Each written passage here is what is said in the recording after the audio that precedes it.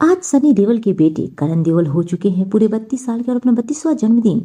अपने चाचा, बॉबी देओल अपने पिता सनी देओल और अपनी दादाजी धर्मेंद्र के साथ मना रहे हैं। वही बता दो, सनी देओल की बेटी करण ज़्यादा लाइमलाइट में रहना पसंद नहीं करते हैं। लेकिन ये कुछ दिनों पहले पर्सनल लाइफ को लेकर सुर्खियों में आ गए थे, अपनी सगाई को लेकर।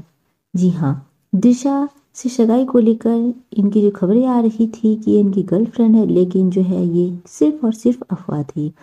फ़िलहाल इनके बेटे जो है वे पूरा फोकस अपनी करियर पर कर रहे हैं। हालाँकि बता दूँ कि इन्होंने साल 2019 में पल पल दिल के पास से बॉलीवुड में कदम रखा, लेकिन यह फ़िल्म जो है मिक्स रिस्पॉन्स मिला था इनमें। इसके बाद ये अपने टू में नज़र आने वाले हैं। वहीं बात करें शनि देवल की तो ये गदर टू में भी नज़र आने वाले हैं। वहीं बता दूँ कि आज पूरे बत्तीस साल के हो चुके हैं सनी देवल की बेटी करण देवल और इनका बत्तीसवां जन्मदिन बड़े ही प्यार से मनाया जा रहा है। वहीं सभी फैंस इनके चाहने वाले ने इन्हें बधाई दी है बत्तीसवें जन्मदिन की।